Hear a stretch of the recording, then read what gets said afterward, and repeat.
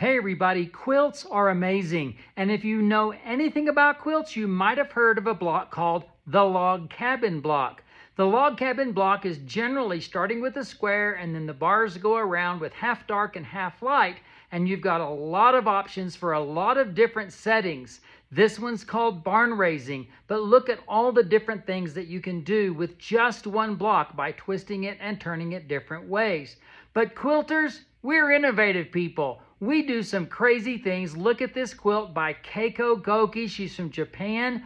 OMG, she's actually combined a double wedding ring, which is the overall design, with all of those wonderful log cabin blocks. And then here's Montse Blasco from Spain. Look at this quilt. It doesn't look anything like a log cabin, but when you break it down, it is. We're going to learn so much about quilts. They are amazing, and log cabins are a great place to start.